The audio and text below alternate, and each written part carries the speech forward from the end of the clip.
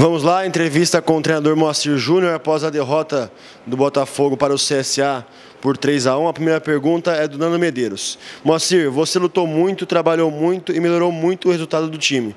Pena que chegou tarde, mas fica aqui o reconhecimento por mais um bom trabalho pelo Botafogo.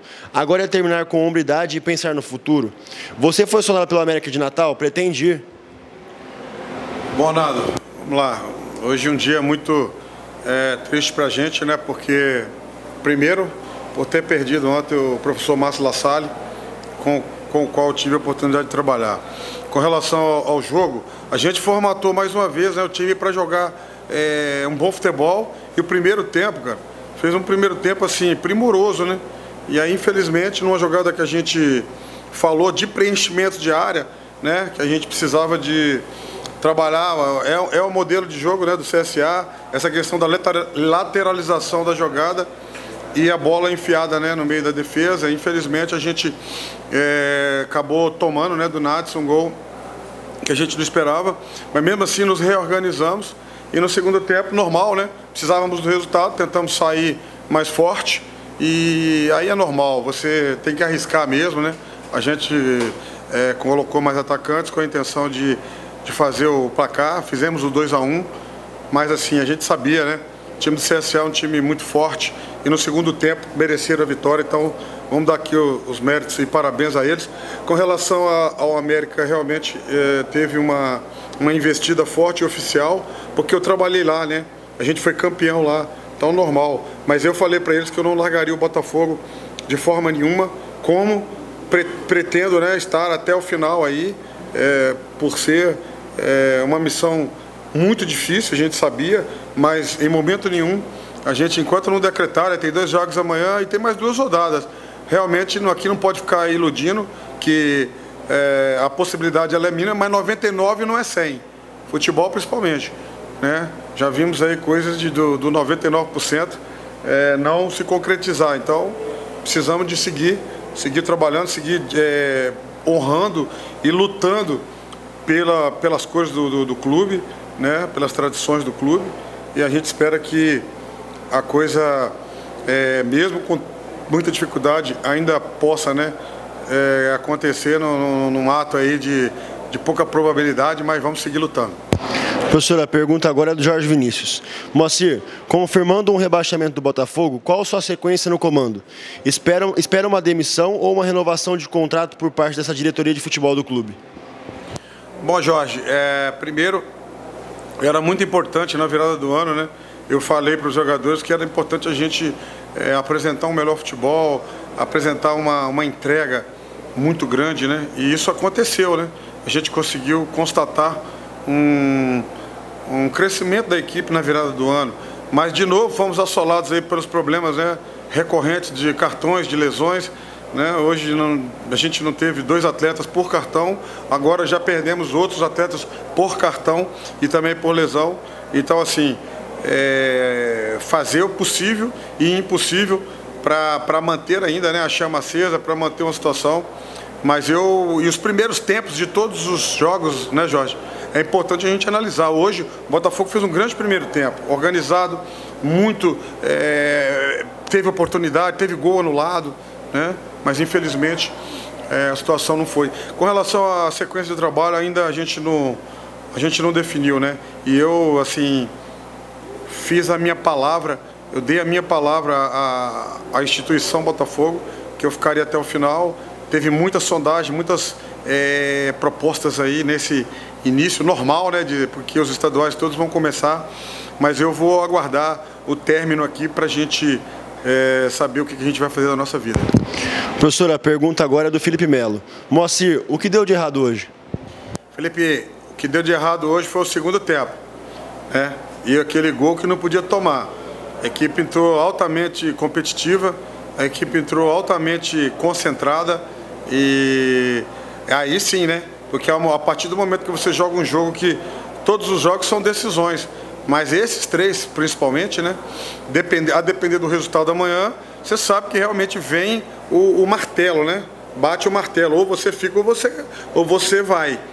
E infelizmente hoje, naquele momento que a gente estava muito assentado, a gente tomou um gol que não podia tomar. porque é, as ações daquele momento, era, o predomínio era nosso entendeu? A gente estava com o jogo bem elaborado, a gente que quis né, furar algumas situações. Depois eles fizeram o gol, baixaram duas linhas de quatro, baixaram forte. A gente ainda tentou, né?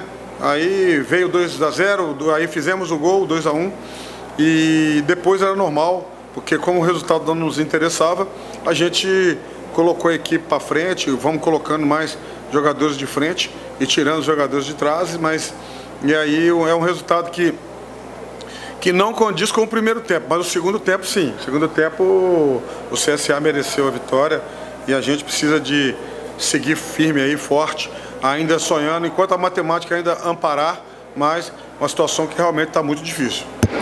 A pergunta agora é do Ribeiro Júnior. Moacir, você veio, pra, você veio para tentar salvar o Botafogo na raça, pois o que faltava além de você era jogador à altura do Botafogo o qual você não teve. Você aceitará trabalhar caso seja confirmado para, para o Paulista com esse elenco tão fraco? Então, Ribeiro, a gente, tá, a gente segue ainda focado né, nesse grande, big desafio, né? E eu fico feliz de, de, de, do reconhecimento, né? Não só de vocês da imprensa, como também da torcida, é, como um todo, da direção, que, que a equipe teve uma, uma melhora de produtividade, a equipe teve uma, uma postura teve né, uma, uma reação. Agora, sem dúvida nenhuma, é, deveríamos né, ter transformado muitos aí resultados e principalmente empates em vitórias, para que nesse momento, antes do jogo, a gente estava com 41% de, de aproveitamento. Esse 41%, se fosse na totalidade do, do, A gente estaria hoje com 43 pontos e a gente provavelmente jogaria só para lacrar o, a permanência. Então, assim, quando você começa a correr só na subida íngreme, não é fácil. Mas eu sou um eterno otimista. Eu sou um cara que eu já levantei o astral do grupo ali. Então, estão muito tristes, estão é, decepcionados com o resultado. Mas eu falei para eles que é importante você sentir o baque hoje, mas amanhã, principalmente de acordo com os resultados que acontecerem, a gente precisa seguir aí firme aí representando bem o Botafogo e, e não deixar, né, por exemplo, que, que nada de, de uma goleada é, muito dilatada, de uma postura de muito relaxamento, isso de forma nenhuma eu, não, eu vou consentir e isso aí a gente vai buscar aí com força essa até o final aí é, que o Botafogo brigue ainda por essa mesma improbabilidade permanência. Professor, a pergunta agora é do Wilson Rocha. Moacir, desde que chegou, a diretoria do Botafogo não veio a público para dividir a responsabilidade deste quase rebaixamento. Você não acha que a diretoria poderia estar ao seu lado hoje para te, para te amparar nesse, nesse instante?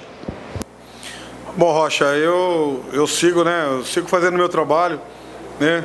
As pessoas aí sabem que a gente realmente é, é incansável, né? A gente é incansável, a gente quer, queria muito que esse grupo escrevesse uma história, que escrevesse seu nome na história do clube, é, buscando uma reação que, que para muitos era impossível e improvável, né? E essa reação ela aconteceu. Após aí o, o Natal, a gente trabalhou muito forte, com chuva, com, com tempestades, e eu mostrava para eles que era necessário, né? É, o pessoal dar essa resposta. Aí ficamos cinco jogos invictos, e nisso, quando você faz isso também, você suga até a última gota de sangue do, do, do, atleta, né? Você extrai tudo que você pode do atleta.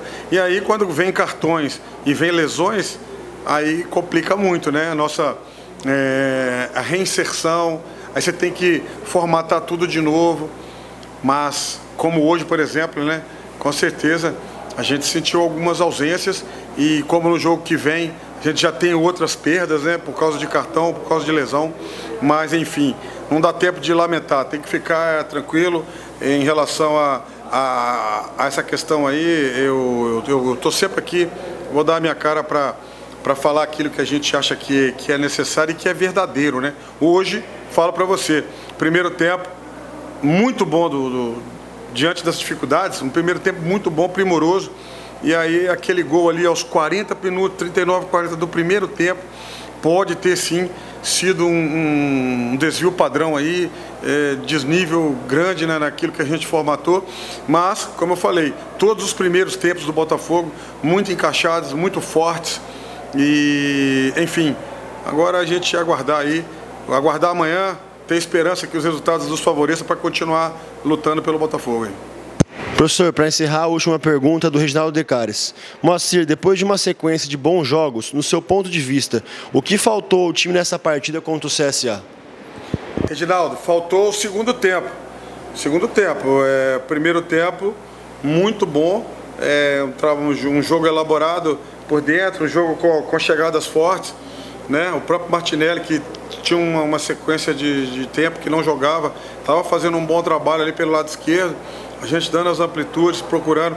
Agora, o gol aos 40 do primeiro tempo, eu te confesso que ele, no momento que você está é, muito é, acuado, e aí você vê que os jogos vão finalizando, vão findando né, as possibilidades.